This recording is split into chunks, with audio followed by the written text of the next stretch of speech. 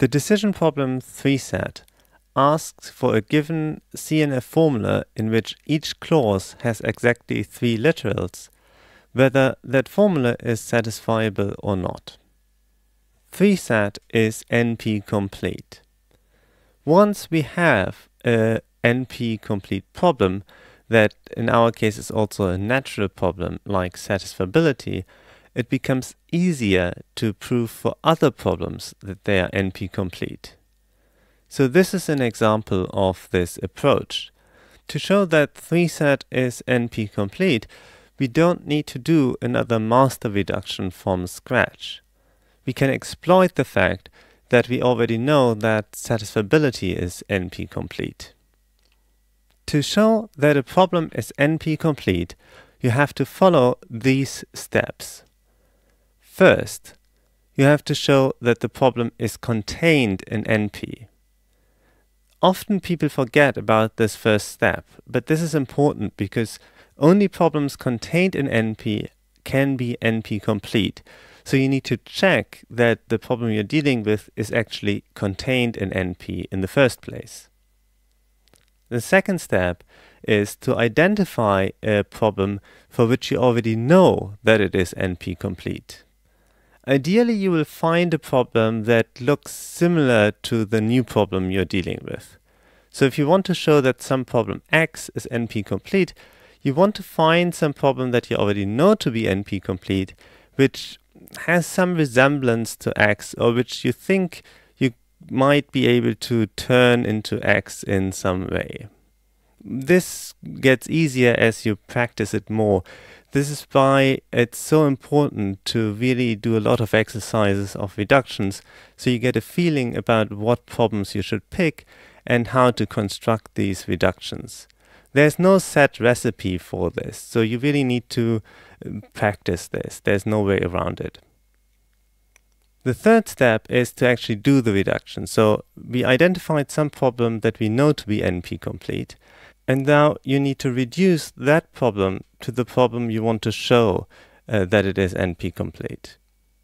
So in our case, we want to show that 3SAT is NP complete. So first we have to check that 3SAT is contained in NP. But this is easy, we sort of have done that before.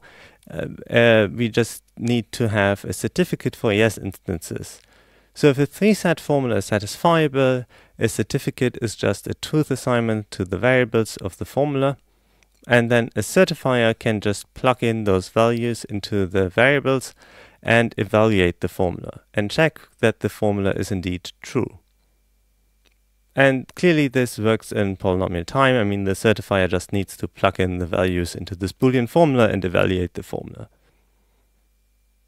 So 3SAT is in NP.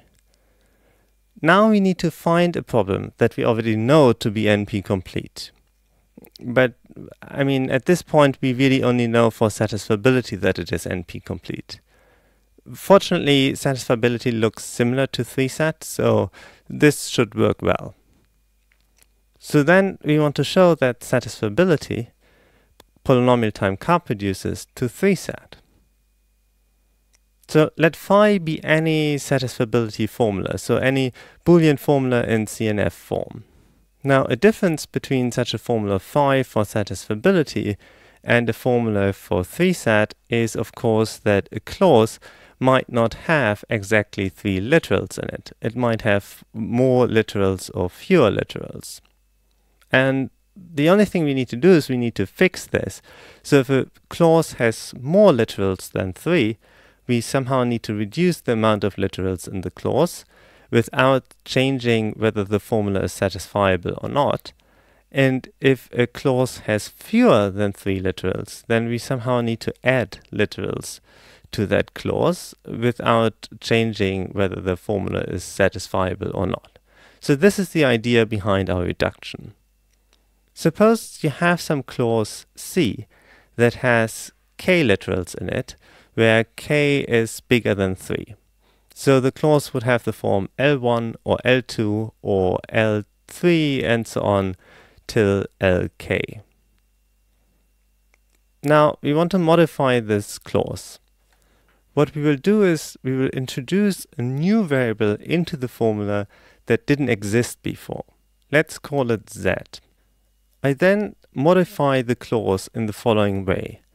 I remove the last two literals from the clause, lk minus 1 and lk.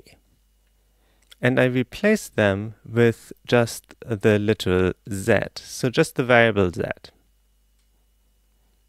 But I also add a new clause to the formula that didn't exist before. And in that clause, I combine the literal lk minus 1 and lk and not z. Okay, so this clause would be lk minus 1 or lk or not z. I claim that this modification did not change whether the formula is satisfiable or not.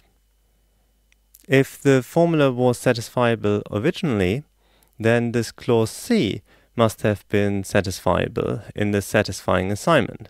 So one of the literals in this clause C had to be true. Suppose it's one of the first k minus 2 literals in the clause. In that case, our new clause C prime would be satisfied already with this assignment. And we could also satisfy the new clause C double prime because we could just set the variable z to false. So if we had a satisfying assignment like this before, we have one in our new formula as well.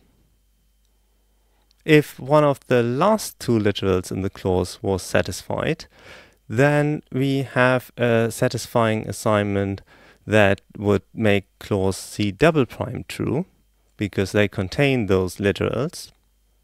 And we can also satisfy the new clause C prime, because we can set the variable z to true. So also in that case, if the clause C was satisfied in a satisfying assignment, then we can extend this satisfying assignment in such a way that our new formula is satisfied as well. Now for the other direction, suppose our new formula is satisfied. So the clause C prime and the clause C double prime have to be satisfied. Now observe that one of these two clauses could be satisfied by choosing the correct value for z. If z is true, C prime is satisfied. If z is false, C double prime is satisfied. But either way, one of the two clauses is not satisfied by setting a value for z alone. So if z is true, then C double prime is not satisfied by z alone because it contains not z. And if z is false, then C prime is not satisfied by z alone. But since both of these clauses have to be satisfied in a satisfying assignment, we know that one of the literals, L1 to Lk, must have the correct value, must be true. And therefore, if we just take this satisfying assignment for this new formula and ignore the values that these new variables of type z uh, get, then this must be a satisfying assignment for the old formula as well. So making this modification did not change whether our formula is satisfiable or not. What it did do, however, is change one clause that contained k literals into two clauses, both of which contained fewer than k literals. So we made it shorter. This is exactly what we wanted, of course.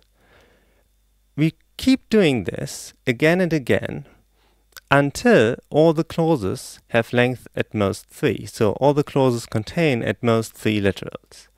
We know this can be done efficiently because in each step we make one clause at least one literal shorter. So there's only a limited number of steps we can do this for, and in fact the number of steps is limited by the size of the original formula. So this can be done in polynomial time. The only remaining problem is that we might have a clause that has fewer than three literals. So in that case we need to change these clauses so that they have exactly three literals in them. I leave that last step as an exercise. I think by now you should be able to do this modification yourself.